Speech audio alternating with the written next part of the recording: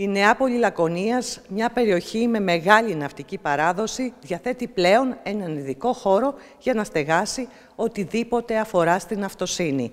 Το Μουσείο Ανάδειξης και Προβολής της Ναυτικής Παράδοσης εγκαινιάστηκε πρόσφατα και αποτελεί στολίδι για ολόκληρο το Δήμο Μονεμβασίας. Αρμόδιος να μας ξεναγήσει στο χώρο είναι ο Αντιδήμαρχος για τη Αρμόδιος για τη Δημοτική Ενότητα Βιών, ο κύριος Χαράλαμπος Κουτσονικολής. Κύριε Αντιδήμαρχε, μια ξενάγηση σύντομη στο χώρο. Να μας πείτε, καταρχάς, είναι ένα έργο που υλοποιήθηκε από το ΕΣΠΑ; Είναι από το πρόγραμμα Leader, σε συνεργασία με την αναπτυξιακή εταιρεία του Πάρνονα και οι μελετητικές εταιρείες που ασχολήθηκαν είναι η COM και η Τέτραγκονος κατασκευαστική. Ε, υπήρχε εμπειρία σε αντίστοιχα έργα και βέβαια για μας ήταν ε, ένας στόχος ε, χρόνια. Η τοπική κοινωνία ήθελε να γίνει κάτι τέτοιο. Ε, είναι συνδεδεμένος άμεσα ο τόπος με την αυτοσύνη, γενικά από ερασιτεχνική έως και επαγγελματική δραστηριότητα αλίας, στην ποντοπλοεία, ακτοπλοεία, σε όλες τις, σε όλες τις δράσεις δηλαδή που έχει ναυτιλία, έχουν ασχοληθεί ντόπιοι βατικιώτες, ε, τα τελευταία τουλάχιστον 100 ε, χρόνια από ό,τι έχουμε γνώση, αλλά και νωρίτερα. Εδώ ο χώρος ε, που φιλοξενείται το Ναυτικό Μουσείο είναι το πρώην δημοτικό, το παλιό Δημοτικό Σχολείο της Νεάπολης. Είχε επιλεγεί ως τέτοιος χώρος από και τις προηγούμενες δημοτικές αρχές να είναι ένας χώρος μουσιακός και εκδηλώσεων, όπως θα δείτε και στην πλάνη αίθουσα. Ε, και βασικά ο σχεδιασμός όλος του χώρου έγινε στη λογική των ε, θεματικών ενωτήτων.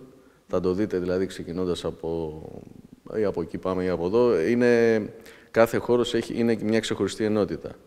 Ε, Τα εκθέματα είναι, αποτελούν δωρεά των ε, πολιτών; Ναι, έγινε μια αρχικά έτσι, έγινε μια ενημέρωση και μια πρώτη προσπάθεια συλλογής ε, οτιδήποτε αντικειμένων από μέχρι και κάρτες, μέχρι και ημερολόγια πλοίων και οτιδήποτε άλλο, αλλά και σε αντικείμενα, τα οποία τα πρόσφεραν αρκετοί. Μέχρι στιγμής, αν δεν κάνω λάθος, πρέπει να είναι στους 12-13 οι δωρητές, αλλά κάθε μέρα, από τη στιγμή που έγιναν τα εγγένεια, ε, ενδιαφέρονται και άλλοι και έχουν ήδη δώσει κάποια καινούργια αντικείμενα. Ε, και ο στόχος μας είναι να επεκταθούμε και στη διπλανή αίθουσα. Έχουμε ήδη έρθει σε επαφή με τις εταιρείες αυτές τις μελετητικές και πιθανόν θα καταθέσουμε μια νέα πρόταση, γιατί από την αρχή ξέραμε ότι θα υπάρξει ενδιαφέρον. Βέβαια, το καταλαβαίνετε ότι στην αρχή είναι δύσκολο να υπάρχει συνολικό ενδιαφέρον. Χώρος υπάρχει, δηλαδή μπορεί κάποιος να φέρνει και στη συνέχεια ή πρέπει να υπάρχει μια επιτροπή να κάνει μια αξιολόγηση; Ε, εμείς συγκεντρώνουμε και κατά καιρούς ενημερώνουμε την επιτροπή που αρχικά σχεδίασε το χώρο και δεν σημαίνει ότι ό,τι ε, έχει προσφερθεί θα εκτεθεί, θα εκτεθεί κιόλας, γιατί όπως σας είπα παίζει ρόλο και το θέμα της ενότητας. Κάθε θεματική ενότητα πρέπει να είναι πλήρης και αντιπροσωπευτική. Τα εξετάζει η Επιτροπή και αυτή παρουσιάζει τώρα στη νέα πρόταση πιθανό να γίνει και μια αναδιοργάνωση των, ε, του χώρου και των ενότητων. Αυτό. Ο κόσμος πώς το έχει δεχτεί όλο αυτό και υπήρξε ανταπόκριση; Μας είπατε ότι και τώρα ακόμα ενδιαφέρονται. Έχουν έρθει να το δούνε; Ε, κοιτάξτε, θεωρώ ότι έχουν έρθει, γιατί μπορεί να μην έχει έρθει όλος ο κόσμος, αλλά έρχεται και τα Σαββατοκύριακα που είναι ανοιχτά, είναι από τις 10 μέχρι τις 2 κάθε Σαββατοκυριακή. Υπάρχει επισκεψιμότητα και θεωρώ και τώρα στις γιορτές είναι καλή εποχή. Και στόμα με το στόμα καταλαβαίνετε ότι... Να πούμε πάλι το ωράριο λειτουργίας, είπατε κάθε Σάββατο και Κυριακή. Σάββατο και Κυριακή στις 10 μέχρι τις 2. Καθημερινές είναι κλειστά, έτσι. Είναι κλειστά, ναι.